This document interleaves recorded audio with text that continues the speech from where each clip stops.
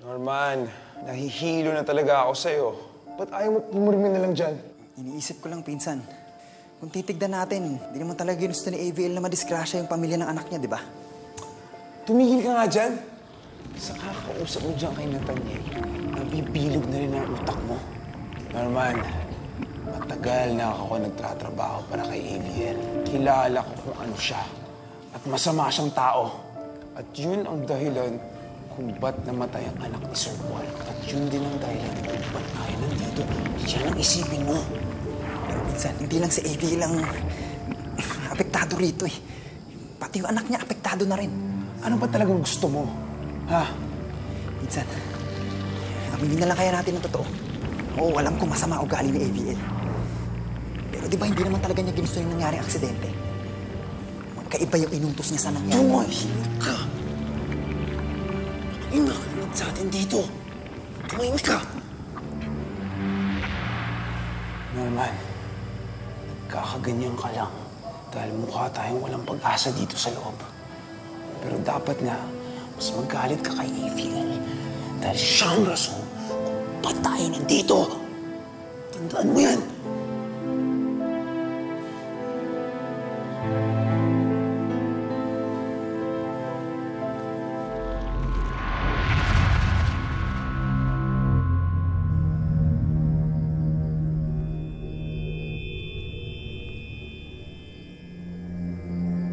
Sinasabi ko na nga ba, may sinusubukan ka na naman baguhin tao, Nathaniel. Pero hindi ko naahaya ang mangyari ito. Hindi pwede magkaayos sina AVL at Paul. Kailangan mapuno lang na mapuno ng galit ang puso ni Paul.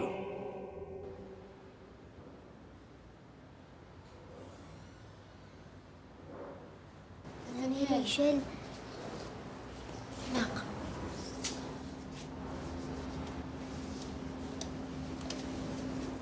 Kamusta naman po kayo? Mabigat pa rin po ba yung pakaramdam nyo kay AVL? Hindi ko rin naman gusto to, Nathaniel. Siyempre, mahirap din na ganito kabigat yung daladala mo, di ba? Pero wala eh. Galit lang talaga yung nararamdaman ko para kay Emil.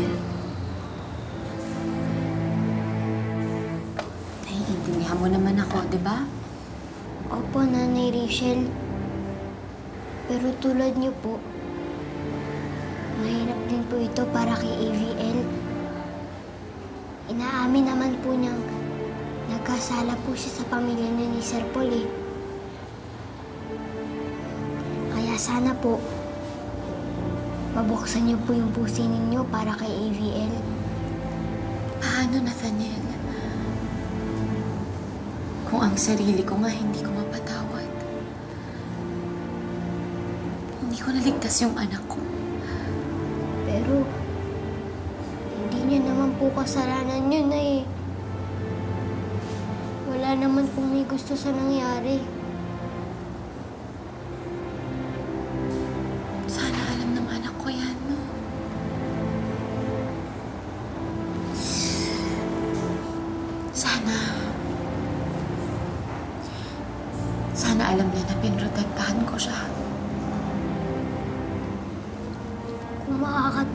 Sa inyo, Nay, kausapin niyo po ako. Isipin niyo po na ako si Nathaniel. Sigurado po akong maririnig po niya yung sinasabi ninyo.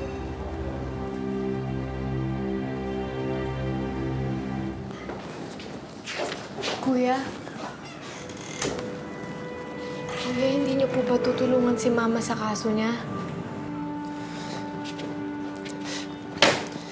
Hindi mo alam kung ano sinasabi mo. Wala kang karapatan para sabihin sa akin yan. Hindi mo alam kung anong pinagdaanan ko. Kuya, naiintindihan ko naman po kayo eh.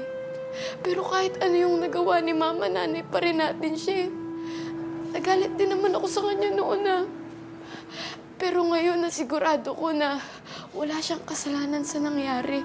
Kaya kuya, please, buksan mo yung puso mo para kay Mama. Pinasundan yung pamilya ko kay Samson. At dahil doon kaya namatay yung anak namin. Kaya Mary, sabihin mo sa akin, ginagawa ba yun ng isang nanay sa anak niya?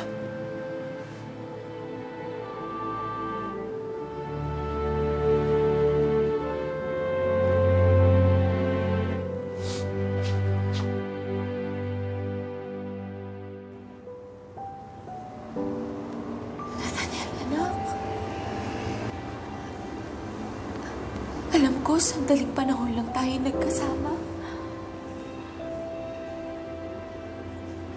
Pero gusto kong malaman mo.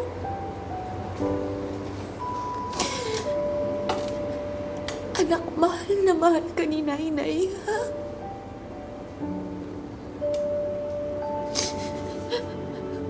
Kung kaya ko lang ibalik ang nakaraan, anak, gagawin ko.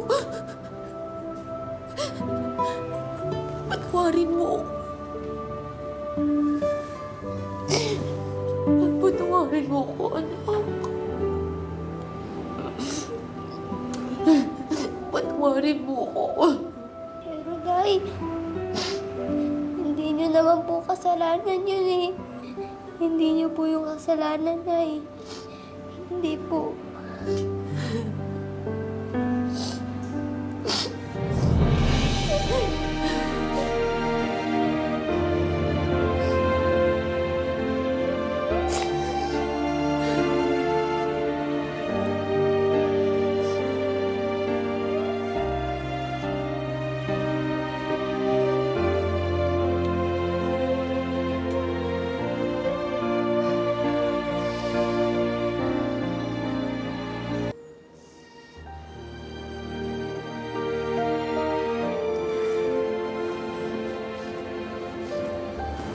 Maraming salamat, Nathaniel, ha? Kahit pa paano nabawasan yung yung bigat na daladala ko. Mabuti po kung ganun, Nay. Sana po makatulong po ito para mabuksan niyo po yung puso niyo para kay ABL. Tulad niyo po, humihingi po siya ng tawad sa kanyang pamilya.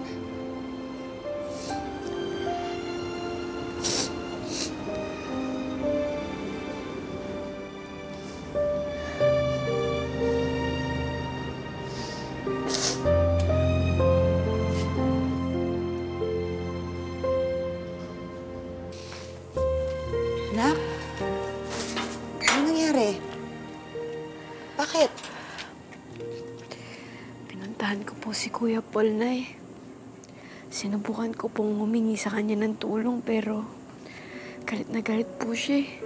Anak, alam ko mahirap para sa'yo makita na tinatalikuran ng kuya mong mama mo. Pero ganun talaga, hindi agad nawawala ang galit. Naiintindihan ko naman po, Nay. Dati rin naman po kasi galit din ako kay Mama. Kagaya na nang nangyari sa'yo. Umasa na lang tayo na mawawala rin ang galit ng kuya mo kay ABL. Magkakayos din kayong pamilya, ha?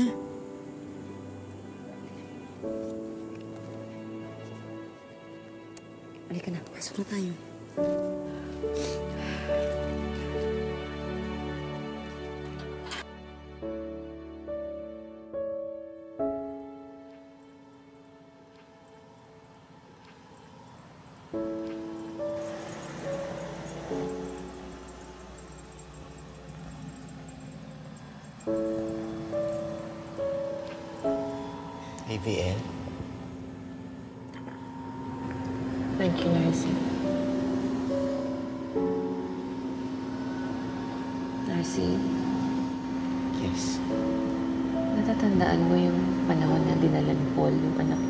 Opisina? Naalala ko po, ABL. Ayoko makita yung bata noon. Kasi alam ko lalambot ang puso ko pag nakita ko siya. Kailangan ko maging matigas.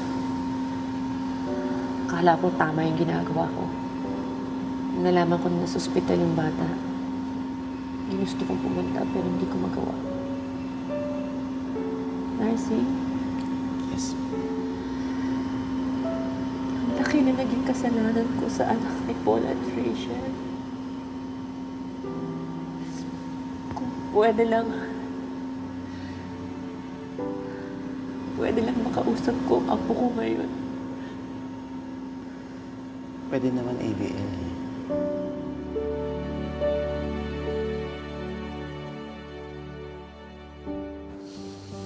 Sir Gustavo, pinapatawag niyo daw po ako. Yes.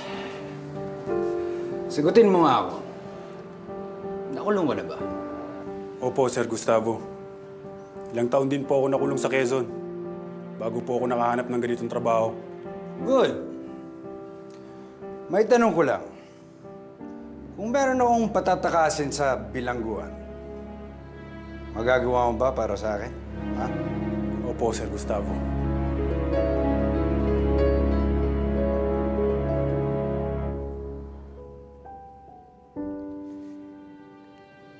Nathaniel,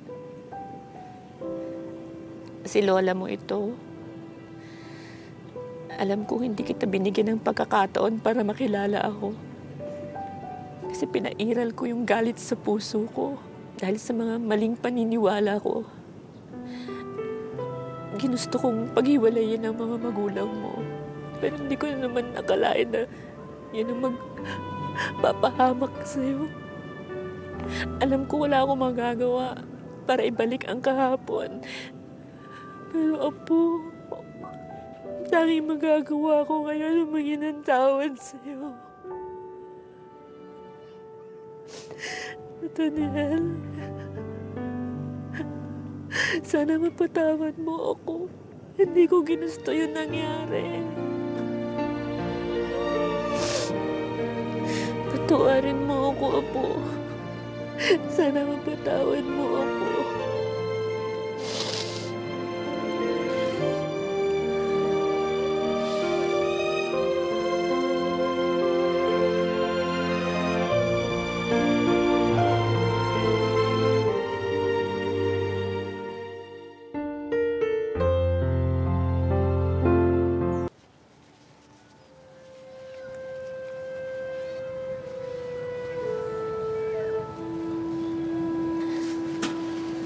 Rachel,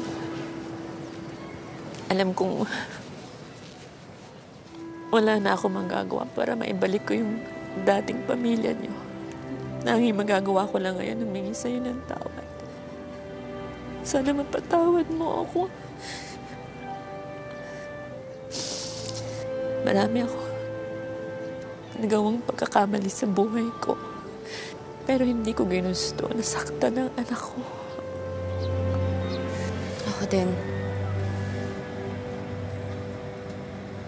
Hindi ko kayang saktan ang sarili kong anak.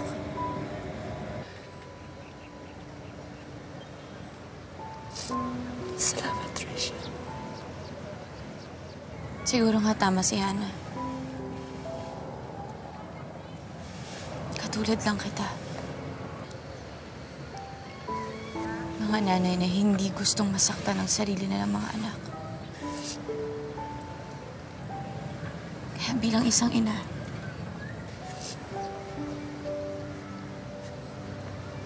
nararamdaman ko kung anong nararamdaman mo.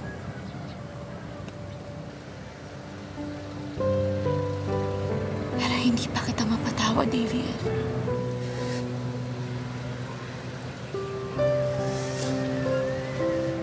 Pero baka pwede pa tayo magsimula ulit.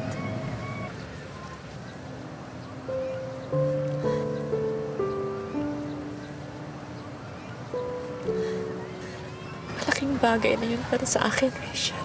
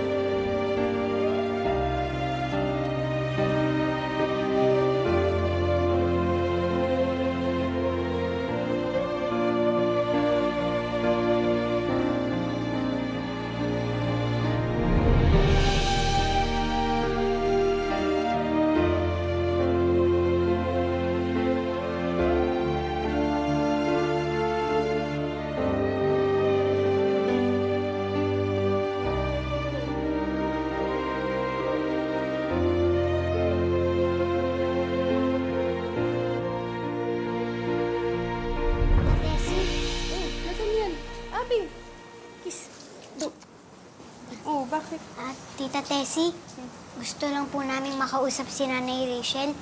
Nandiyan po ba siya? Umalis si Nanay Rachel mo. Ang pagkakaalam ko, dinalaw niya yung puntod ng anak niya. Halika na, Nathaniel. Puntahan na natin si Doc Rachel sa sementeryo. Sige. Oy, oy, naku, kayong dalawa, dito nyo na lang hintayin si Nanay Rachel nyo, ha? At ang lakas ng ulan. Hmm? Upo muna kayo, dali. Upo, upo na kayo, ipapapasok. Sige po. Princess, pasok muna tayo. Kain muna tayo.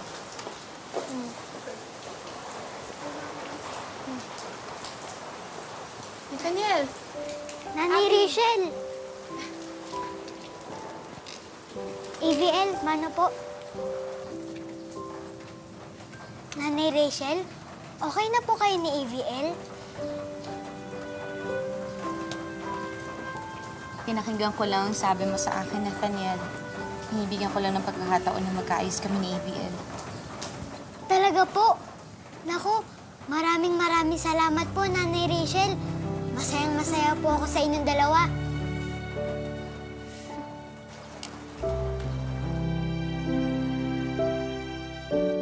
Rachel, ABL,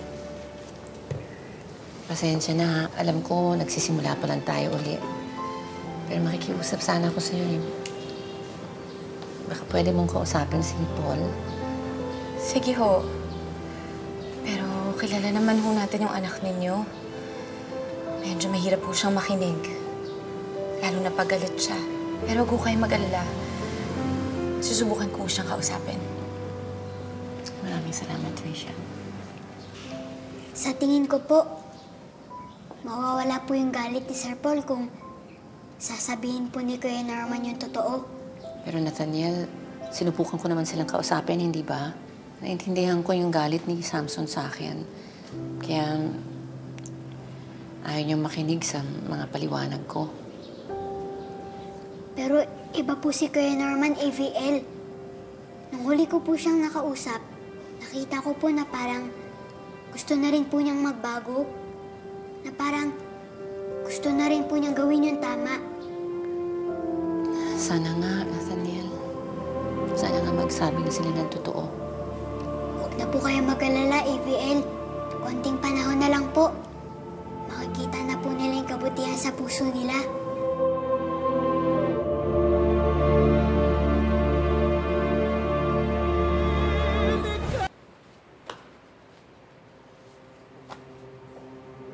Sir Gustavo, Ah, Doc. Napadaan lang ako. Upo muna kayo.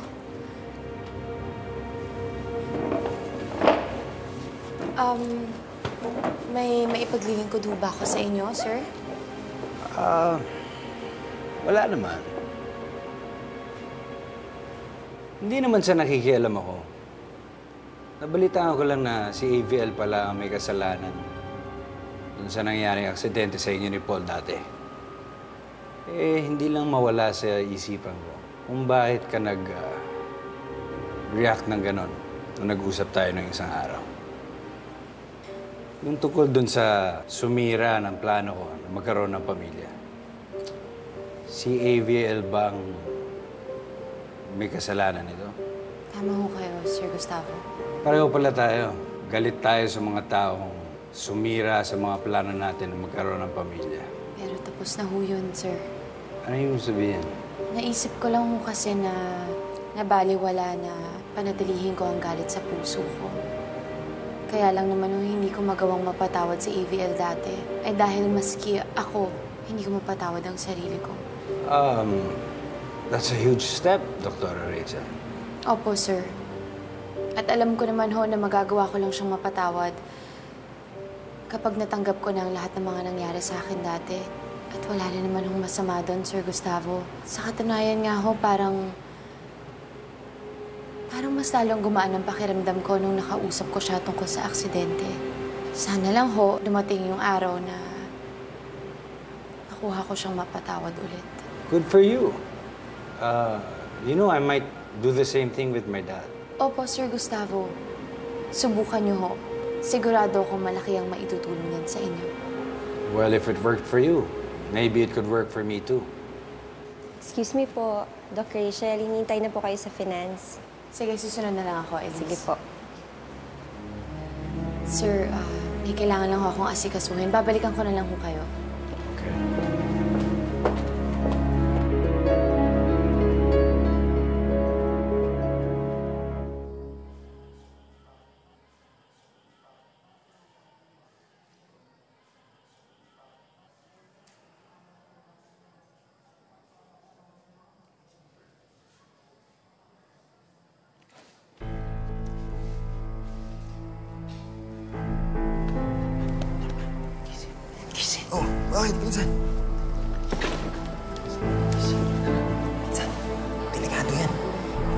Kung sino nag-iwan bukas niyan.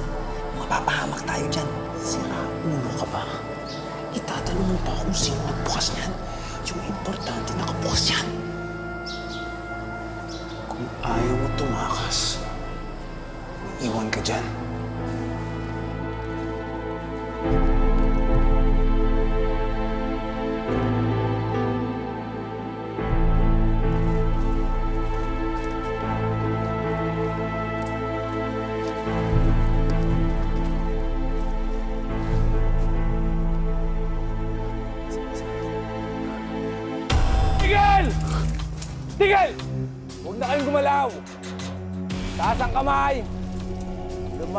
Dito sa akin dahan-dahan patalikod.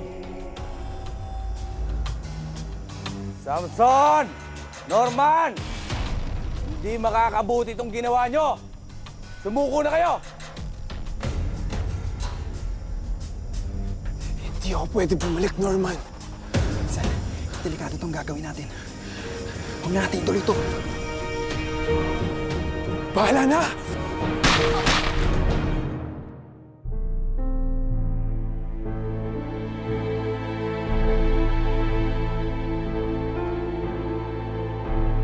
itong mga to. Mag-report ka sa presinto. Tapos kayong dalawa, check nyo kung may kasama pa yung mga yan doon.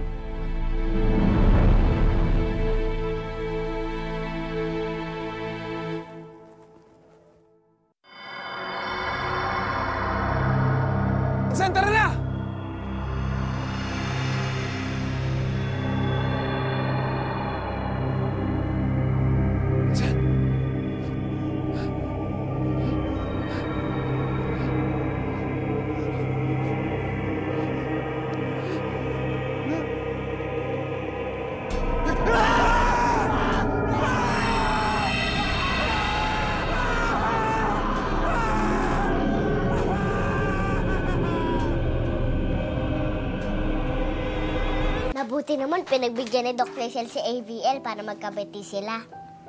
Oo nga, Abi. Masaya ako na nabuksan na ni Nanay Rachel yung puso niya para kay AVL. Tatay mo na lang kulang, Nathaniel. Maaayos mo din ang pamilya mo.